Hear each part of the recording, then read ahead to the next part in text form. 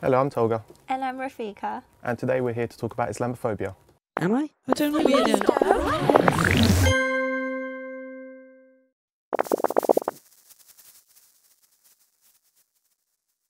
Being judged or bullied because of your religion can be really difficult, and if that's happening to you, that's not okay, and there is help here for you. So, Rafeeka, what is Islamophobia?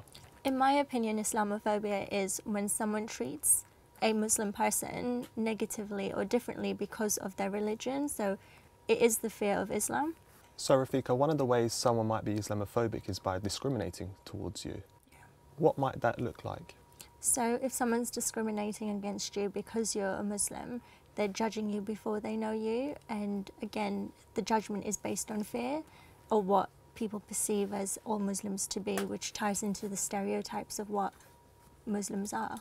What kind of stereotypes could there be? So, stereotypes are set ideas about people. The main one that we see every day on social media, in the news, wherever you walk, is that all Muslims are terrorists. That's the main one that, that rings with, you know, Islamophobia. So, being a Muslim does not mean you're a terrorist, but people can racially abuse um, people due to that stereotype. And you see a lot of this on social media. I've seen a lot of it on my social media, on friends' social medias. Um, one of the things that surfaced recently is the Punish a Muslim Day. And personally, I'm quite scared.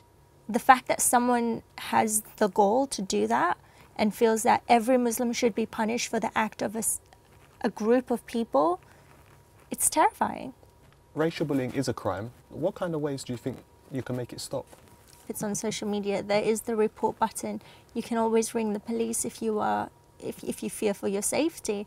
There are ways to report it at school. There's the, the anti-bullying policy. The main thing is to remember not to be afraid to report the the crime.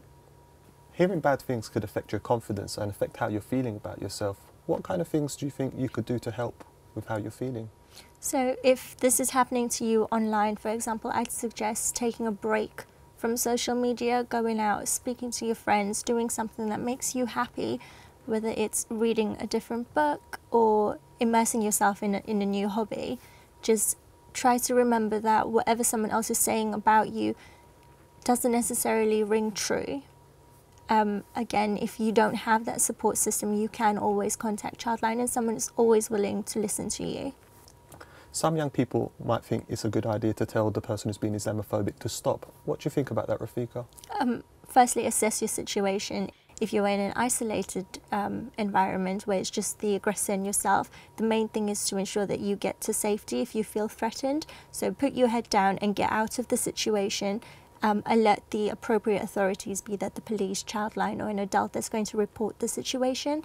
If it is online, um, the best thing, my opinion, would not would be not to um, engage because a lot of the time these people want a response from you. Just report the situation, block the uh, block the person, and delete the comment. Seeing a friend or someone you care about experience Islamophobia could be really scary. Yeah. Well, it's the main thing to remember is that it's not your fault. It's not your. You don't have to feel um, the responsibility. Um, the things that you can do, if your friends reported it, you can also contact Childline to get support for yourself, based on what you've seen and how it's made you feel. Um, people think that these things only affect the party, parties involved, but it, it does affect other people around them as well. And the important thing to remember is that there's always someone to talk to about the way it's made you feel. So, what might you say to someone who's experiencing Islamophobia?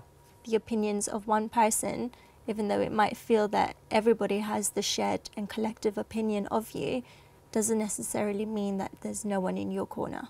But to, to paint everyone with the same brush is not fair. Thank you so much for talking about this today, Rafeeka. Thank you for having me.